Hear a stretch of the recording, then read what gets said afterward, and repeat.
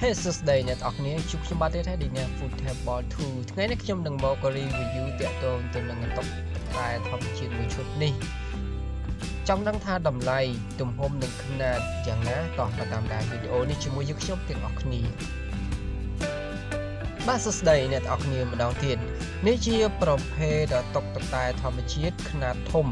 ខ្នាតដល់មុខ100ជាងឯណោះវាស្ថិតនៅក្នុងប្រភេទតុកបាយហើយ សម្រាប់អង្គុយគឺមានកៅអីចំនួន4គ្រាប់វាជាបង្អែកដើរពួរ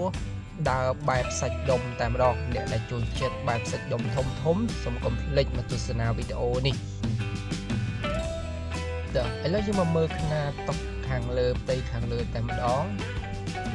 មុខ ផ្ទៃខាងលើរបស់វាមានប្រវែង105ទៅ145ហើយគុណនឹងទទឹងរបស់វាគឺបានដល់135ឯកម្រាស់របស់វាវិញបានទៅដល់11គឺមានន័យថាមកទឹកមហុនហើយកម្ពស់ពីដីទាំងជើងរហូតដល់សន្លឹកខាងលើមានកម្ពស់70សំលំមខ្នាតតុកបាយមកស្អាតមកស្រួលតែម្ដង អូហូបើចំពោះតម្លៃវាវិញមិនក្រោមពីជាង1000នោះទេអ្នកទាំងអស់គ្នាអាចទំនាក់ទំនងនៅក្នុងលេខទូរស័ព្ទនៅក្នុងវីដេអូនេះតែម្ដងតាក់ទងទៅបងប្រុសផ្ទាល់គាត់រីករាយនឹងផ្ដល់ព័ត៌មានលម្អិតអំពីតុកបាយទាំងអស់នេះបាទខ្ញុំសូមបញ្ជាក់ឡើងវិញនេះជាប្រភេទ ឈើធ្នង់ទាំងអស់តែម្ដងទាំងកៅអីបង្អែកទាំងជើងទាំងផ្ទៃខាងលើតែម្ដង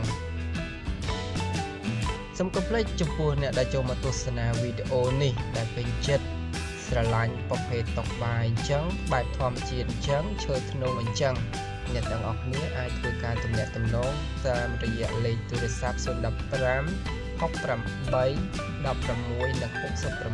66អរគុណចំពោះការតាមដាននៅវីដេអូនេះ បើមានកំហុសខុសឆ្គងមេត្តាខន្តីអភ័យទោសផងបើអ្នកស្រឡាញ់និងចូលចិត្តវីដេអូនេះសូមកុំភ្លេចជួយចុច Subscribe នៅ Channel នេះផងវីខ្ញុំនឹងមានវីដេអូបន្តបន្តជាច្រើនទៀតនិយាយអំពីប្រភេទតុកទឹកតែធម្មជាតិនៅកម្ពុជារបស់យើងតើវាមានច្រើនប៉ុណ្ណា ប្រភេទគួរឲ្យស្រឡាញ់ច្រើនប៉ុណ្ណាសូមកុំភ្លេចជួយចុច Subscribe ផងដើម្បីតាមដានវីដេអូទាំងអស់នេះអរគុណជម្រាបលាជួបគ្នានៅវីដេអូក្រោយៗទៀត